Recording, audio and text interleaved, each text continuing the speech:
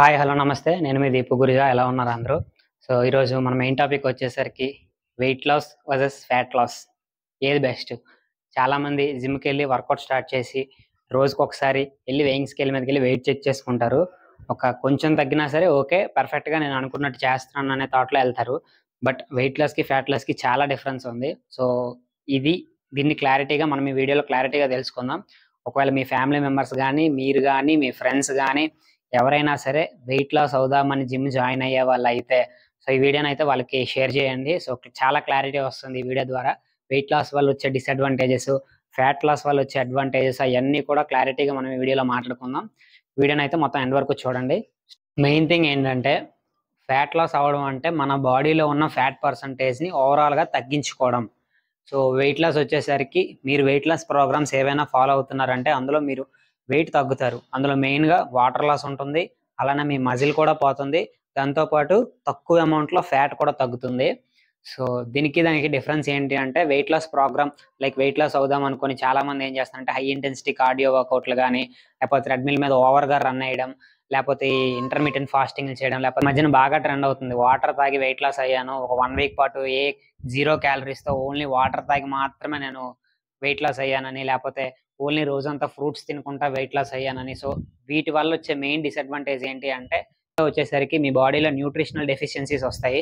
Nutritional deficiencies అంటే మన బాడీకి ప్రాపర్గా మనం ప్రోటీన్ కార్బ్స్ ఫ్యాట్ అన్ని మనకి ఎంతైతే రిక్వైర్డ్ ఉంటాయో అవన్నీ అందించకపోతే న్యూట్రిషనల్ డెఫిషియన్సీస్ వస్తాయి. దానివల్ల లోపల ఇంటర్నల్గా లివర్ కానీ కిడ్నీ కానీ హార్ట్ కానీ ఈ ఆర్గన్స్ అన్నిటికీ ఏవైతే అవసరమో మనం అవేమీ అందించకపోతే ప్రాపర్గా వర్క్ చేయవు. అది మొదటి రోజే మీకు తెలియదు సో మీరు వెయిట్ అయితే తగ్గుంటారు. బట్ దానివల్ల ఫ్యూచర్లో చాలా ఇబ్బంది పడుతుంటారు. సో మీరు అలాంటి రిస్క్లు అయితే తీసుకోవద్దు.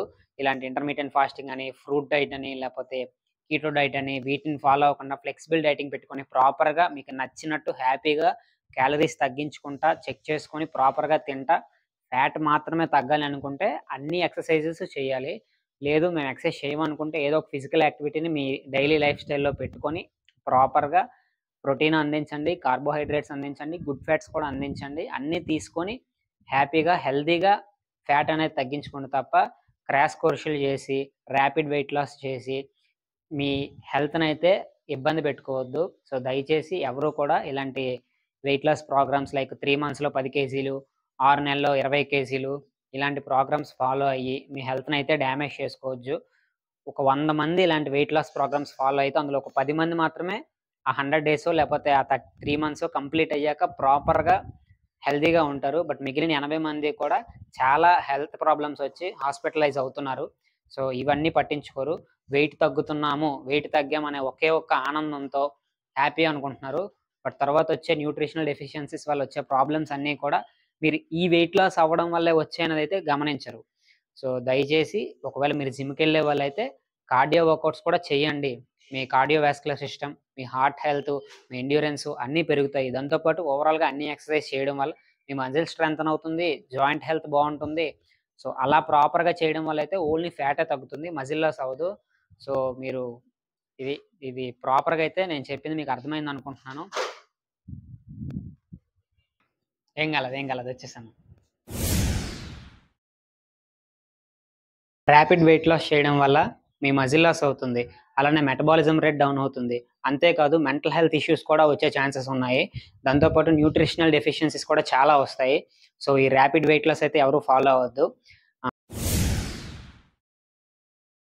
మీరు రెగ్యులర్గా ఫిజికల్ యాక్టివిటీ ఇన్వాల్వ్ చేసుకొని ప్రాపర్గా ఫ్యాట్ లాస్ మీద టార్గెట్ పెడితే మీ మజిల్ స్ట్రెంగ్త్ అవుతుంది. జాయింట్ హెల్త్ ఇంప్రూవ్ అవుతుంది. అంతేకాదు మీ మెటబాలిజం రేట్ కూడా పెరుగుతుంది. మీరు సెల్ఫ్ కాన్ఫిడెన్స్ కూడా ఇంప్రూవ్ అవుతుంది. So so only fat loss చేయడం వల్ల అయితే ఇన్ని అడ్వాంటేజెస్ అయితే ఉన్నాయి. సో వెయిట్ లాస్ చేసి ఇబ్బంది పడద్దు. ఫ్యాట్ లాస్ చేసి హ్యాపీగా ఫీల్ అవ్వండి. సింపుల్గా క్లియర్ కట్గా ఎక్స్ప్లెయిన్ చేశాను. వెయిట్ లాస్ వద్దు ఫ్యాట్ లాస్ ముద్దు. దయచేసి ఫ్యాట్ లాస్ మీదే మీరు కాన్సన్ట్రేషన్ చేయండి. వెయిట్ లాస్ అయితే పెట్టుకోవద్దు. ఫ్యాట్ లాస్ అవుతున్నారంటే ఆటోమేటిక్గా వెయింగ్ స్కేల్ మీద వెయిట్ తగ్గుతారు. బట్ మీరు వెయిట్ లాస్ మీద ఫోకస్ చేస్తే వెయిట్ లాస్లో మీరు మజిలిపోతుంది వాటర్ లాస్ అవుతారు. ఫ్యాట్ అయితే అంత ఎక్కువ అయితే తగ్గదు. సో దయచేసి వెయింగ్ స్కేల్ మీద వెయిట్ చెక్ చేయడం ఆపి ప్రాపర్గా ఫ్యాట్ లాస్ మీద ఫోకస్ చేయండి. హ్యాపీగా మీకు నచ్చింది తినుకుంటా పోర్షన్ కంట్రోల్ చేసుకుంటా ఫ్లెక్సిబుల్ డైటింగ్ మీద ఫిక్స్ అయ్యి హ్యాపీగా హెల్తీగా మీ వెయిట్ని అయితే తగ్గించుకోండి.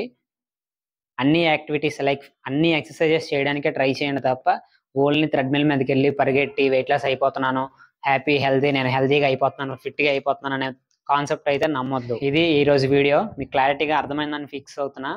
సో మరిన్ని ఇంకా ఇన్ఫర్మేటివ్ వీడియోస్ కోసం మన ఛానల్ని సబ్స్క్రైబ్ చేసుకోండి. ఖచ్చితంగా మీ ఫ్రెండ్స్తో షేర్ చేసుకోండి. అలానే చూసిన వాళ్ళు ఒక లైక్ కూడా కొట్టుకోండి.